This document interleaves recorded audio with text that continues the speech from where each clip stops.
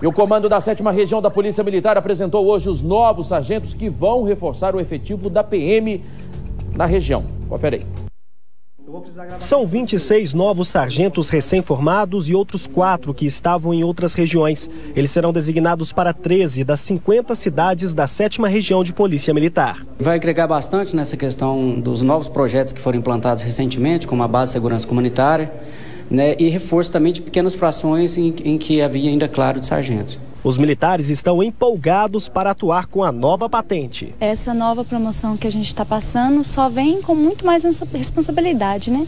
E, e, o que a gente tem, a motivação que a gente tem desde o período de curso é produzir, né? A sensação agora é de ascensão na carreira mesmo e mais responsabilidades, mas também de, de vitória, né? O curso foi sofrido e mais vitórias mesmo. Além dos novos sargentos, a sétima região de Polícia Militar recebeu recentemente nove aspirantes, que em breve serão os novos tenentes a atuarem em prol da segurança pública. Muito importante a função né, do oficial no, no comando de operações, comando de eventos, né, de pelotões, né, de, de frações pelotões, setores.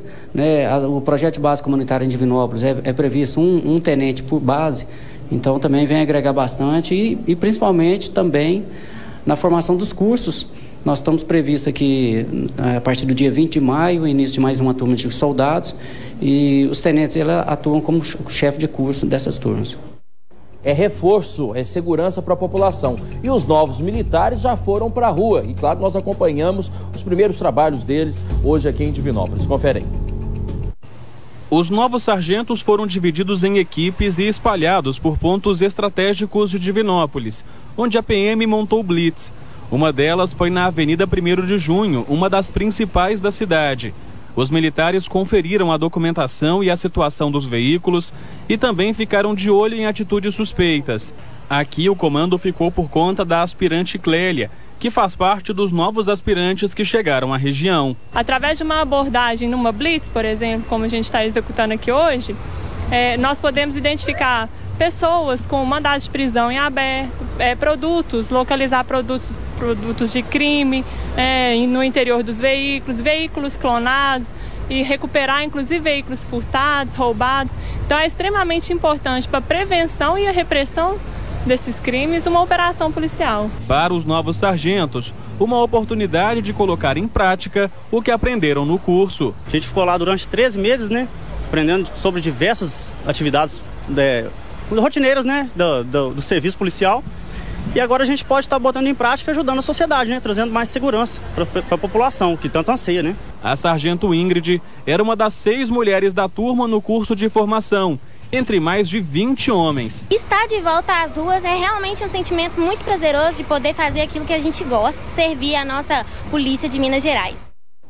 É isso aí, aliás, considerada a melhor polícia militar do Brasil, né? O importante também é que esses novos militares, né, também estão fazendo trabalho nas ruas, né? Até porque nós estamos no período aí de compras, né? Operação natalina acontecendo, esses militares também estão nas ruas reforçando a segurança né, para a população. Quem ganha é a população, né? Todo mundo ganha.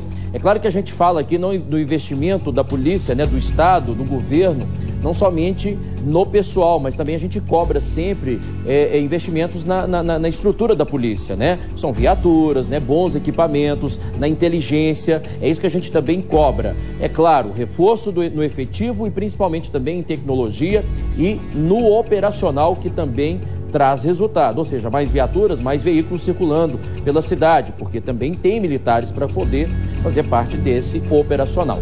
Então tá aí, claro, e quem ganha sempre, a gente reforça aqui, é a população.